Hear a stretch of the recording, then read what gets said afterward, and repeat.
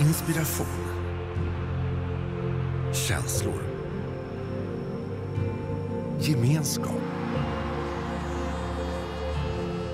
Förebilder. Med stolthet bär jag vår tröja och vår flagga. Ibland är idrott så mycket mer än vinna och förlora. Ibland är det idrotten som visar vägen. Ibland förändrar idrotten världen. Historien är fylld av berättelser där idrott varit så mycket mer än den sportsliga prestationen. Vi vill visa och uppmuntra goda exempel där idrotten sträcker sig utanför det rent idrottsliga. Därför har vi nu tagit initiativ till Idrottsgalans Fair Play-pris.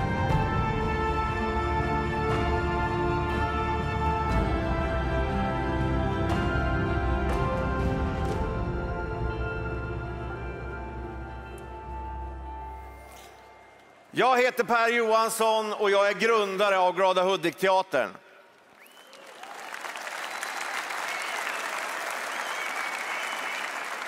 För fem år sedan fick jag ett brev av Emma Örtlund från Gislaved.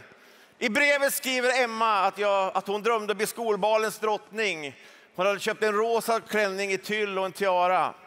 Men det blev inte så. Mobbarna som hade mobbat henne under hela hennes liv vann. Hon gick aldrig dit. Nu drömmer hon om att bli modell och göra sin egen catwalk. Hon vill ta revansch på alla som har varit dum mot henne och ta revansch på alla mobbare och visa att hon också duger. Som säger i brevet att jag undrar om du kan hjälpa mig Per och jag vet, skriver man till Glada Hudik-teatern brukar det ordna sig. För tre år sedan så fick Emma med fyra kompisar från Glada Hudik-teatern göra sin egen catwalk på Fashion Week i New York.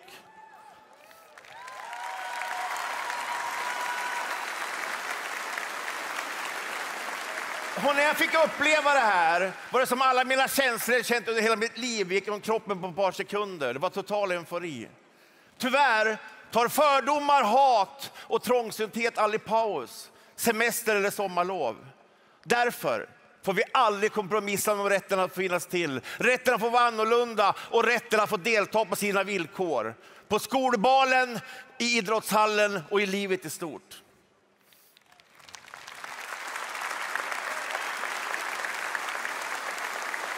Därför, kära publik, är jag så oerhört stolt att jag får dela ut detta pris. Och priset är Årets Fairplay-pris. Hej allihopa! Vi eh, kör Zumba idag. Kom igen nu Robin. Jo. Hjälteföreningen är ju en förening som startar upp i Umeå. Och eh, vi här i Göteborg är ju då en del av själva Hjälteföreningen. Må Hur mår ni? Bra.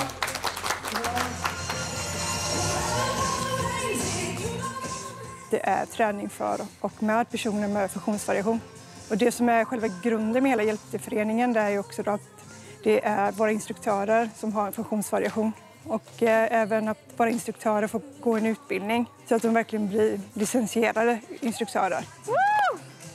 Jag, jag är Zumba-instruktör och eh, certifierad Zumba-instruktör inom Zumba. Man får bra självförtroende när man tränar. Sen är det också för hälsans skull. Alltså det, det, är väldigt, det betyder stort för mig att man kan eh, träna. det, är, det är det bästa. Jag önskar det fanns en dag till.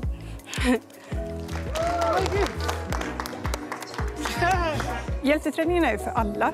Eh, alla som har en funktionsvariation och även eh, om man behöver ha en ledsagare så får de också vara med och träna. Det ska inte finnas någon som står vid sidan om och kollar på utan alla är med och tränar. Ledsagare till pappsen. Ja, så vi försöker hänga så här en dag i veckan och, och träna så här tillsammans. Och det tycker jag är jättehärligt. Just det, exakt så. Jag tränar tårna och knoppen, står det. Schysst för kroppen, schysst för knoppen, ja. Mm, Och vi lever idag och vi tränar. Mm. Det är vår, vår belöning. Alltså, träning är inte bara för vi som är normalstörda utan även för alla helt enkelt. Här får de komma och köra individuell träning. cirkelträning där de får blanda styrka och kondition helt enkelt. Oh yeah, han är då glad för vet du vad med björnens gör vi ingen glad. Det är min livets sång vi lever här, oh yeah. Ett, två, tre!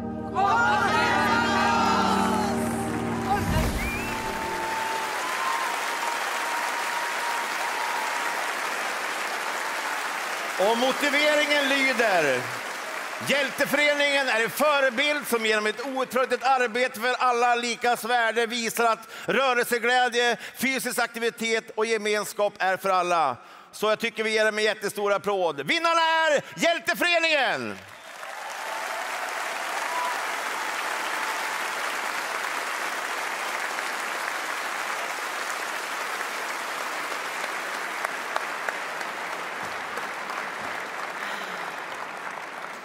Ja, Hampus, jag såg dig sjunga. Det var ju riktigt roligt. Men eh, vi hade inte stått här idag om vi inte hade sprungit Taffest för eh, snart fem år sedan med ett gruppboende i Umeå. Ni kan ju tänka er själv en eh, mils lång hinderbanetävling. Alla är ungefär lika dyngiga som att de hade badat i en bajamaja när man kommer i mål. Ja, Uttervägens hjältar blev det då med hela svenska folket. Och eh, där och då började vi skrapa på den här eh, fasaden av gamla normer som sa att personer med funktionsnedsättning, de kan inte. Och de bör inte, får inte. Och när folk säger att det inte går, då blir jag lite provocerad. Så då måste jag göra det motsatt och visa att det går. Eh, och nu står vi här idag då, på Idrottsgalan. Och med det så vill vi tacka alla som har ställt upp i föreningen, ideellt, volontärer, instruktörer, alla samarbetspartners, ehm, ja, familj. Ja, våra familj och vänner som låter oss hålla på med det här och bryta fördomar varje vecka, varje dag, varje minut. Så tack till mina barn.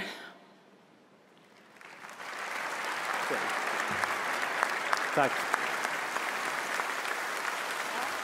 Ja, och eh, den 12 maj då har vi Hjälteloppet, så då bjuder vi in alla idrottskändisar att vara med och delta. Och idag har vi Anja Persson.